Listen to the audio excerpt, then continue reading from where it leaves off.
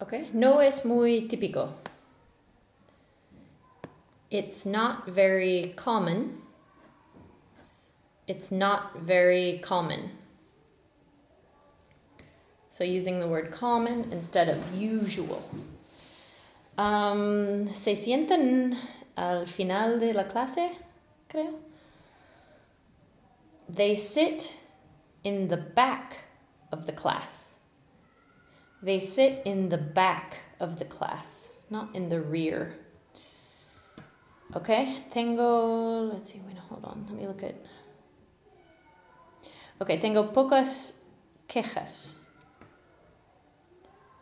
I have few complaints. I have few complaints.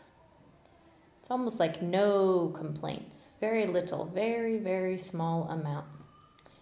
When you don't have that A in there, okay? Oh, if you want to say I I poca información.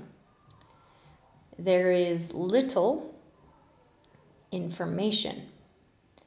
There is little information. And what else? Hay unas pocas, hay, hay algo de información. There is some information. Some. There's some information. Um, unos pocos, algunos, um, they're como suficiente. It's like enough enough, some is what a few or a little. A few, a little is like some, enough, sufficient. Mm, if the ad, if the noun that we're counting or talking about is positive. Okay, very good. Some.